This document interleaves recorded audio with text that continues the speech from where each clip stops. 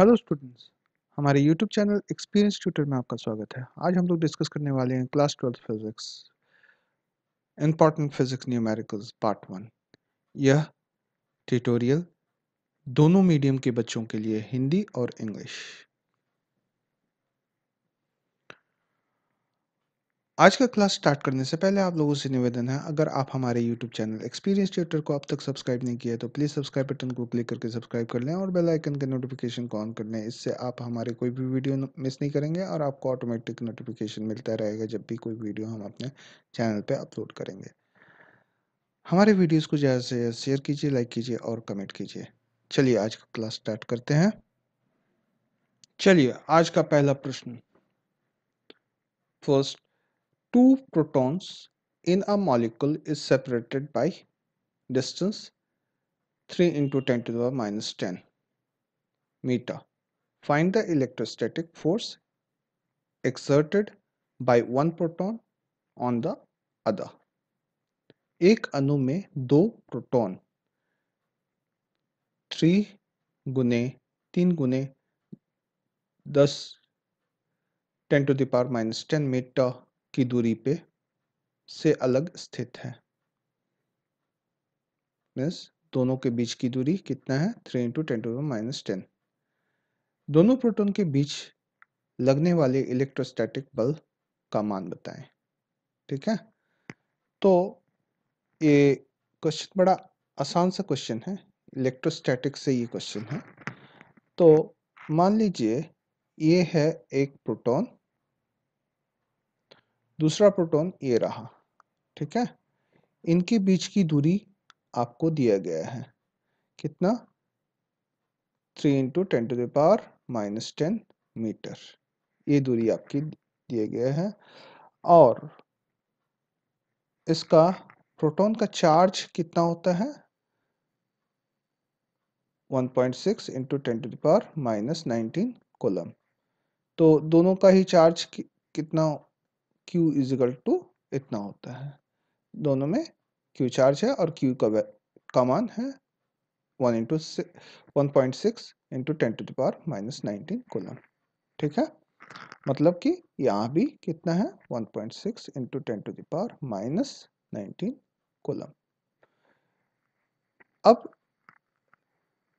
Coulomb के नियम के हिसाब से क्या होता है? एफ़ इलेक्ट्रोस्टैटिक फोर्स में से इलेक्ट्रोस्टैटिक बल इज़ इक्वल टू क्या होता है? जब दो चार्ज कुछ दूरी पे हो और उनका दूरी ज्ञात हो, उनके बीच का दूरी ज्ञात हो, डिस्टेंस ज्ञात हो तो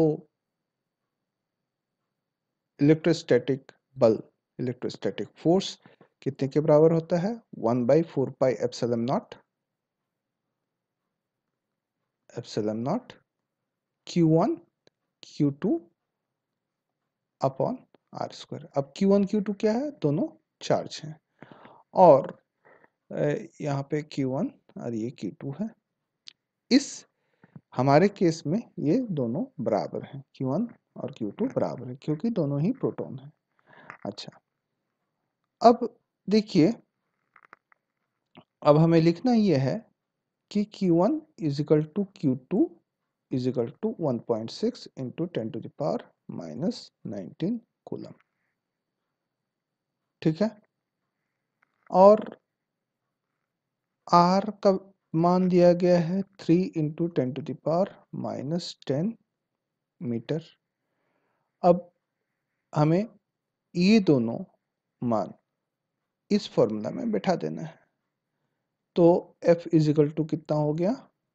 अच्छा इसका मान जो होता है इस चीज़ का मान होता है आ, आपको याद रखना है ये nine into ten to the power nine ठीक है?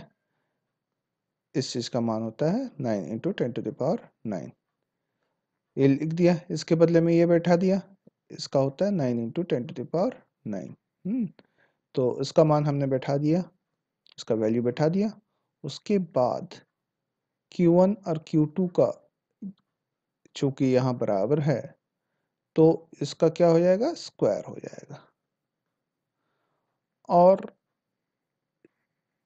आर का स्क्वायर तो डिस्टेंस का स्क्वायर, इसका भी स्क्वायर कर दीजिए।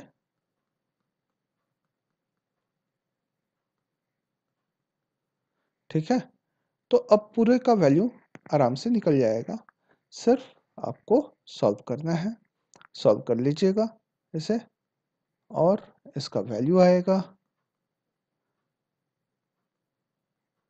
ये, ठीक है? और ये किस तरह का बल होगा? यह रिपल्सिव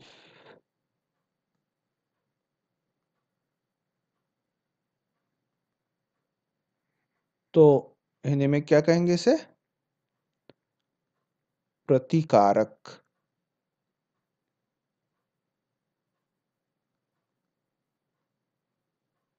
यह एक प्रतिकारक बल होगा। ठीक है? ये हो गया ये आंसर हो गया। ठीक है? चलिए नेक्स्ट क्वेश्चन की ओर बढ़ते हैं। चलिए ये हो गया हमारा अब next question three charges ten microcoulomb five microcoulomb and minus five microcoulomb are present in air at three corners A, B, C of a equilateral triangle of side 0.1 meter. Find the resultant force experienced by charge placed at corner A. ठीक है तीन आवेश 10 माइक्रोकोलम 5 माइक्रोकोलम और minus पाँच माइक्रोकोलम संबाहु त्रिभुज के तीनों कोनों ए बी और सी पर रखे गए हैं संबाहु त्रिभुज के के भुजाओं की लंबाई पॉइंट वन मीटर है ए पर लगने वाले परिणामी बल को ज्ञात कीजिए, ठीक है? तो इसका मैं पहले फिगर ड्रॉ कर लेता हूँ। ये हमने फिगर ड्रॉ कर लिया। ये एक ए बी सी एक इक्विलेटरल ट्रायंगल है संबाहु त्रिभुज है, जिनके भुजाओं की लंबाई side length of the sides point one metre है। तो हमें क्या निकालना है? हमें और तीनों पे दस दस ओम, दस माइक्रोकुलम, बीस माइक पाँच माइक्रोकुलम और माइनस पाँच माइक्रोकुलम आवेश रखे गए हैं। तो यहाँ पे लिख लीजिए, ये है दस माइक्रोकुलम, यहाँ पे पाँच माइक्रोकुलम और यहाँ पे माइनस पाँच माइक्रोकुलम। आवेश रखे गए हैं। ट्रायंगल का साइड्स पॉइंट वन मीटर का है, ठीक है? तो अब सवाल इस तरह से जो जो दिए गए हैं, उनका, उनको लिख लेंगे। जैसे क्यू ए का वैल्यू, चार्ज आवेश, ए पे कितना आवेश है, चार्ज कितना है, वो लिख लेंगे। वो है टेन माइक्रोकुलम तो यहाँ पे टेन माइक्रोकुलम लिख लिया। क्यूबी पे कितना है, उसे भी लिख लेंगे पाँच माइक्रोकुलम और क्यूसी पे कितना है क्यूसी कित, का वैल्यू कितना है माइनस पाँच माइक्रोकुलम ठीक है? अच्छा माइक्रो इजकल टू क्या होता है पता है ना आपको? Micro is equal to ten to the power minus six होता है। ठीक है? One microcoulomb is equal to one microcoulomb is equal to is equal to ये माइक्रोकुलम है is equal to ten to the power minus six coulomb तो सब में ten to the power minus six है। तो अब और एक चीज़ दिया गया है सिंस ये इक्विलेटरल ट्रायंगल है समबाहु त्रिभुज है, इसलिए इनके साइड्स जो हैं, वो इक्वल हैं, बराबर हैं। कितना? One point point one metre के ठीक है? अब आ, जो ए बी वाला बल होगा ए बी कौन सा है? ये देखिए ये ये साइड हाँ ए बी वाला जो बल होगा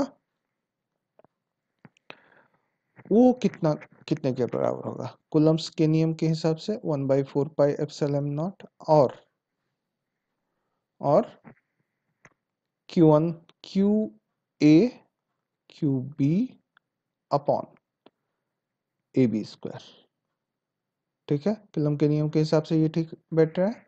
तब इसको हम इसका मान ज्ञात कर लेते हैं। One by four by naught ten to the power minus ten to the power nine into ten to nine, ये हो गया। उसके बाद क्यू ए क्यू ए कितना है? टेन माइक्रोकोलम तो ten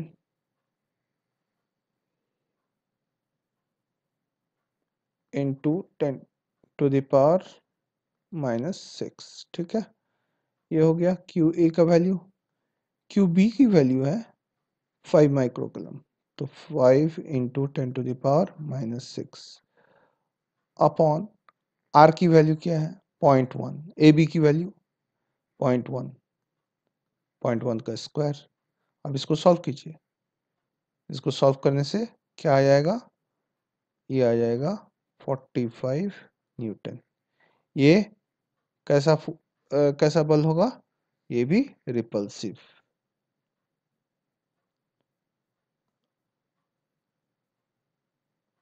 सिव। हिंदी में क्या कहेंगे? प्रतिकारक।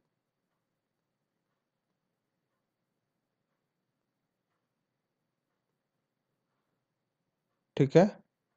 प्रतिकारक बल होगा। तो एफ़ ए बी हमने निकाल लिया। अब एफ़ ए सी निकालना है। चलिए एफ़ ए सी निकालते हैं। एफ़ ए सी का वैल्यू क्या हो जाएगा?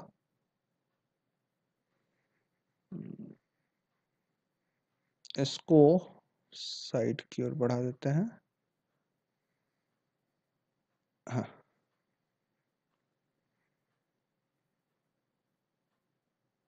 ठीक है अब एफ़ ए सी हमें निकालना है। F A C is equal to क्या हो जाएगा? One by four pi Coulomb के नियम से। Epsilon naught Q A Q C upon A C square ठीक है? एग्ज़ाम में आपको थोड़ा सा डिटेल में लिखना है। कुलम के नियम के अनुसार अकॉर्डिंग टू कूलम्स लॉ ये सब लिखना पड़ेगा। ठीक है? मैं मेन जस्ट जो सम है, उसको मैं सॉल्व कर रहा हूँ। डेकोरेशन पार्ट आप लोग कर लीजिएगा। Ten to the power minus six नहीं। यहाँ पे हो जाएगा ten into ten to the power minus six multiply by five into ten to the power minus six upon point one का स्क्वायर। इसको भी सॉल्व कर लीजिए तो इतना कितना आएगा? 45 न्यूटन। और ये ये भी कौन सा बल होगा? प्रतिकारक बल मीन्स रिपल्सिव। ये भी रिपल्सिव। फोर्स होगा? प्रतिकारक। ठीक है? ये भी रिपल्सिव फोर्स अर्थात प्रतिकारक बल होगा। अब देखिए।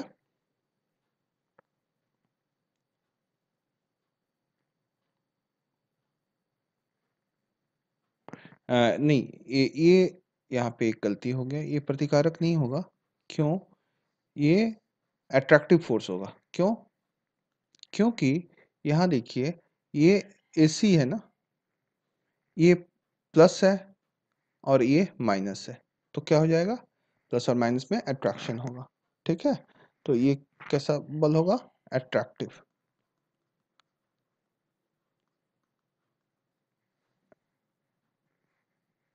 और हिंदी में क्या कहेंगे इसे? आकर्षक।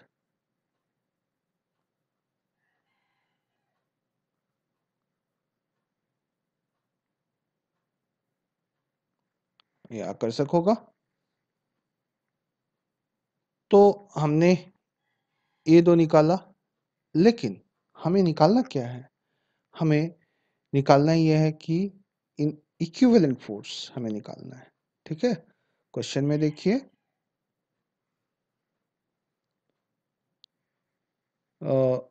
ये वाला क्वेश्चन है।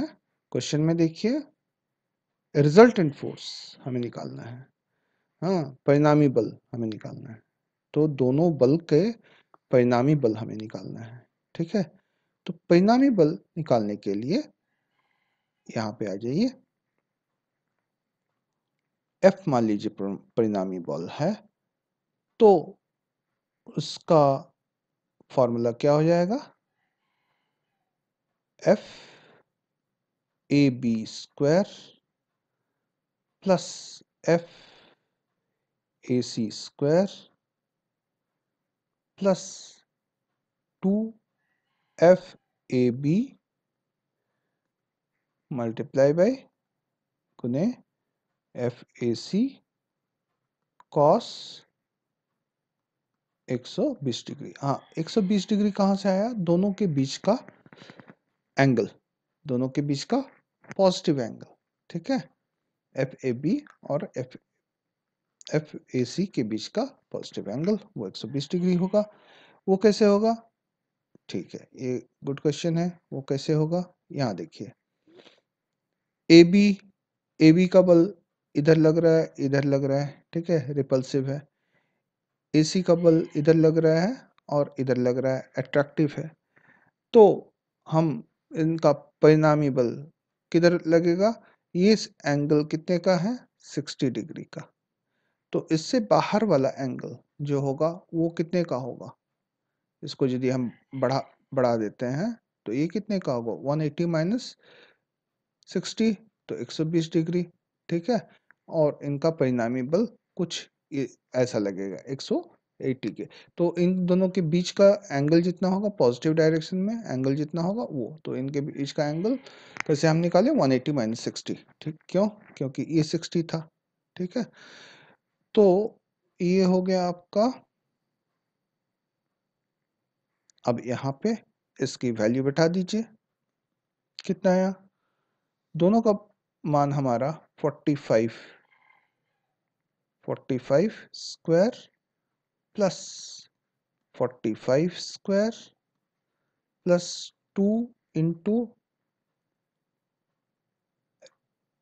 45 into 45 cos cos का मान बैठा दीजिए 120 का वैल्यू कितना होता है? माइनस पॉइंट फोर्टी फाइव ठीक है? माइनस पॉइंट फाइव होता है, माइनस हाफ़ होता है, ठीक है? ये हो गया आपका वैल्यू अब इसको सॉल्व कर लीजिए। इसको सॉल्व करने से कितना हो जाएगा? 45 और यहाँ पे माइनस वन तो ये हो जाएगा 45 न्यूटन। ये हो गया हमारा रिजल्टेंट फोर्स या परिणामी बल। ठीक है? और ये क्या होगा? 120 वन ट्वेंटी डिग्री एंगल पे काम करेगा। चलिए, समझ में आ गया? चलिए, आगे बढ़ते हैं।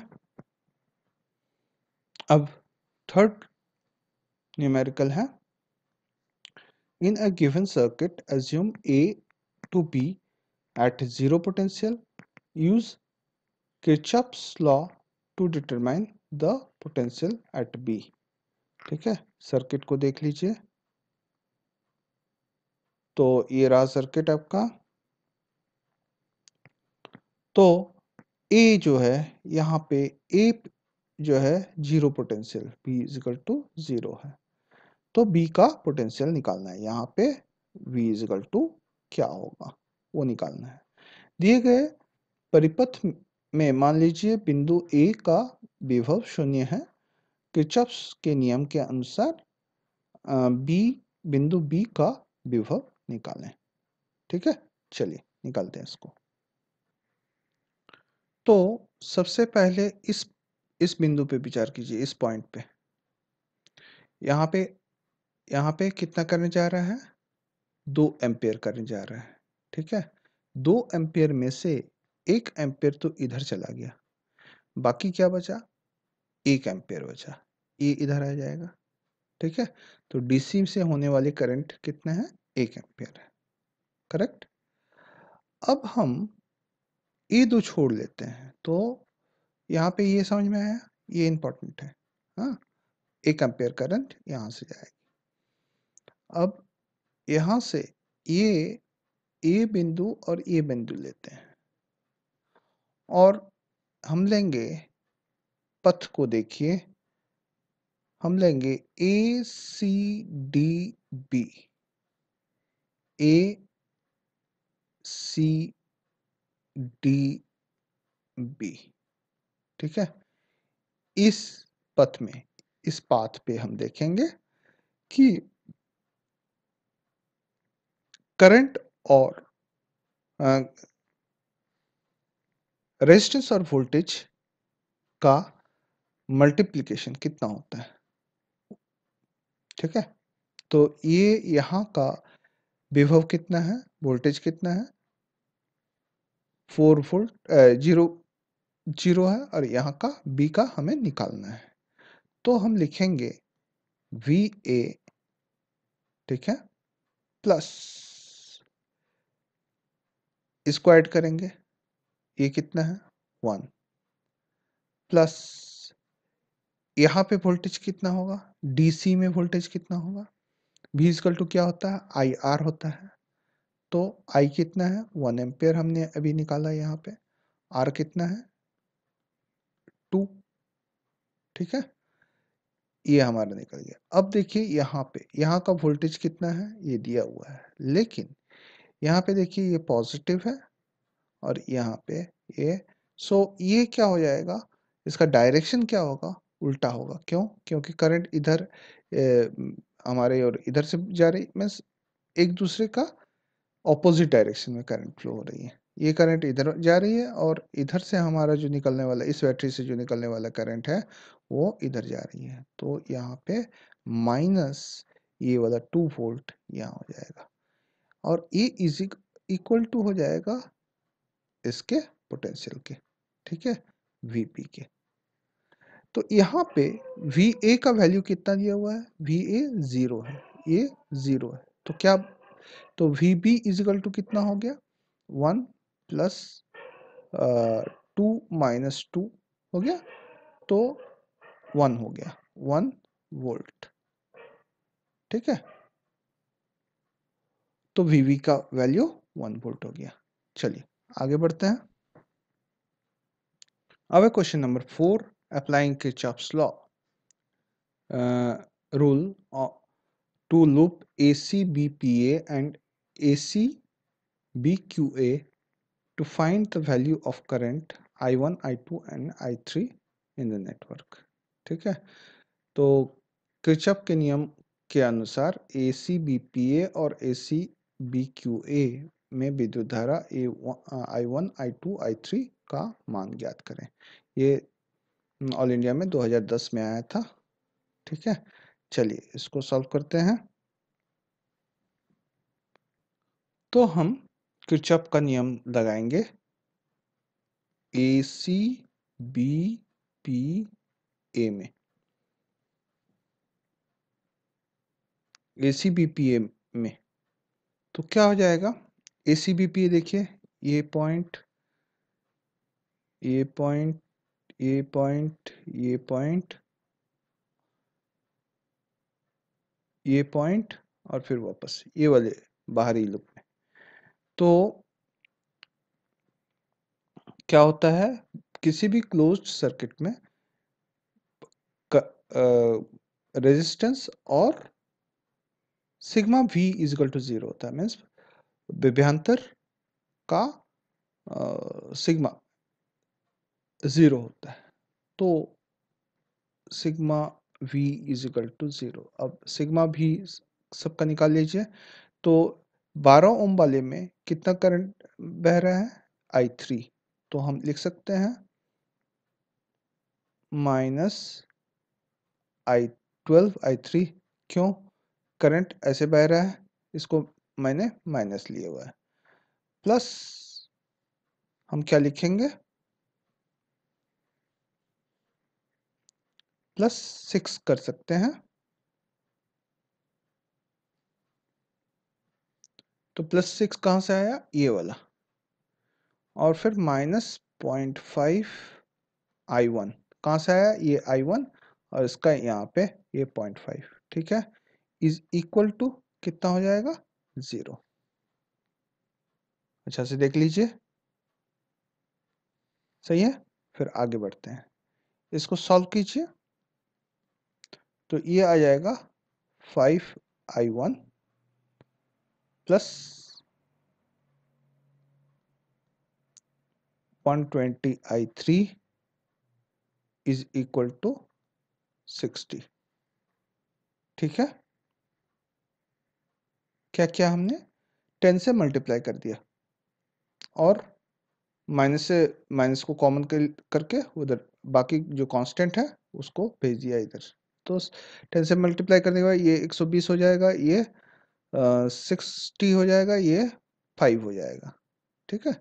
ऐसे आ गया फाइव आई वन लिख दिया one one twenty I three यहाँ ये बन गया सिक्सटी हो गया? अच्छा ये इसको हम इक्वेशन वन मान लेंगे। ठीक है? अब दूसरे वाले लूप में जाइए। ए सी ए सी बी क्यू ए ठीक है? देखिए। ए ए सी ए हो गया दूसरे रंग का। ये हो गया ए सी बी क्यू इस लूप में जाइए। तो इस लूप में क्या हो, हो रहा है हमारा? वही करंट और रेजिस्टेंस देखिए तो हम लिख सकते हैं minus twelve I three plus ten ten कहाँ से है ये ट्वेल्व आई थ्री कहाँ से है ये ये रेजिस्टेंस ट्वेल्व है आई थ्री इधर से बह रही है ये आई थ्री यहाँ पे है।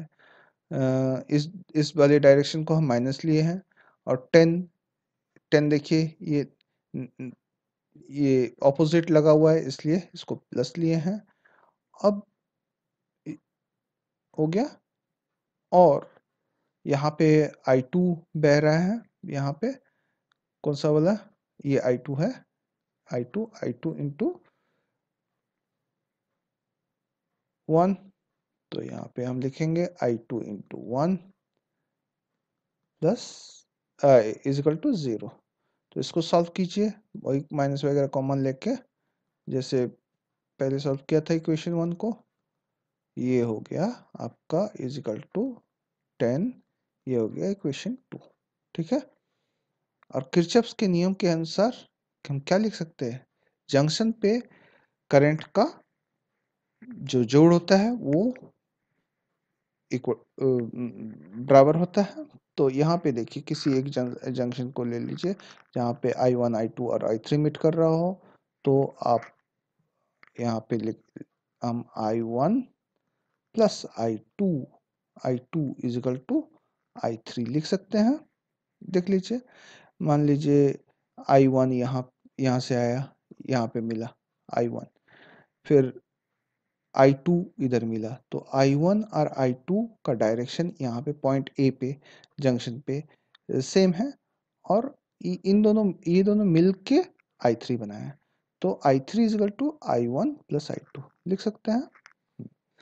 तो ये हमारा हो गया इक्वेशन थ्री उसके बाद यदि हम इक्वेशन वन टू और थ्री को सॉल्व करें सॉल्व नॉर्मल